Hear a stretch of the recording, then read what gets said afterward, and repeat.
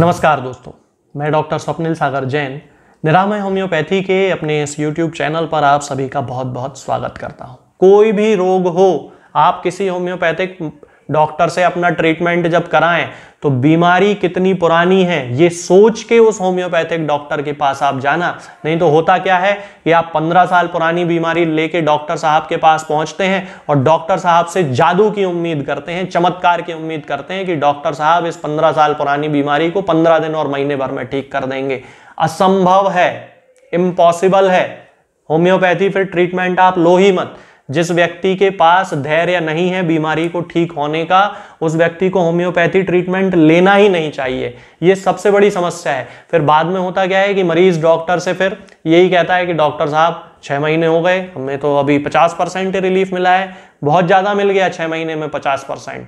अगर पंद्रह साल पुरानी बीमारी है और छः महीने में डॉक्टर ने आपको पचास परसेंट रिलीफ दे दिया तो उसको आपको थैंक यू बोलना चाहिए कि उसने इतना अच्छा काम कर दिया। दोस्तों होम्योपैथिक दवाओं को खाने का सबसे अच्छा तरीका होता है कि हम हमेशा खाली पेट इन दवाओं को खाएँ।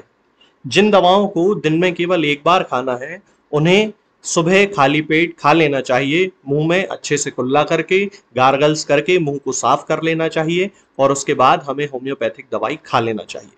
जिन दवाओं को दिन में दो बार या तीन बार या चार बार खाना होता है, उन दवाओं को खाली पेट खाने का मतलब होता है कि हम उन दवाओं को खाने के लगभग आधे घंटे पहले या फिर दो से ढाई घंटे बाद ही खाएँ। और उस स्थिति में भी हमारे मुँह में किसी भी वस्तु का, किसी भी चीज़ का स्वाद नहीं होना चाहिए, ना ही हमारे मुँह में किसी भी चीज़ की गंध होना चाहिए।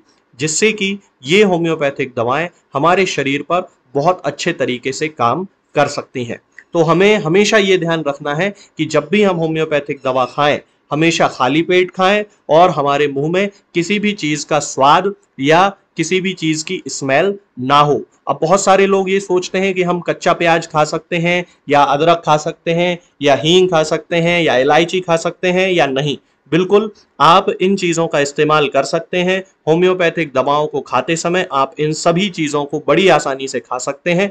बस याद ये रखना है कि जब भी आप होम्योपैथिक दवा खाएँ, इनमें से किसी भी वस्तु का, किसी भी चीज़ का स्वाद आपके मुँह में ना हो। यानी कि जब भी आप इन्हें खाएँ तो इनके खाने से या तो आधे घंटे पहले होम्योपैथिक दवा खा लें, या फिर इन्हें खाने के दो ढाई घंटे बाद, जब कि आपने मुँह में अच्छे से कुल्ला कर लिया हो अच्छे से गार्गल्स कर लिए हो, तब इन होम्योपैथिक दवाओं को खाएँ तो आपको हमेशा होम्योपैथी के सबसे अच्छे रिज़ल्ट देखने को मिलेंगे। लोग गलती यही कर देते हैं कि वो प्याज खाना छोड़ देते हैं, कच्चा प्याज, लहसुन, अदरक, हींग सब खाना छोड़ देते हैं, लेकिन फिर भी उनको मुँह में सफ़ाई ना होने के कारण होम्योपैथिक दवाओं का अच्छा रिज़ल्ट देखने को नहीं मिलता है।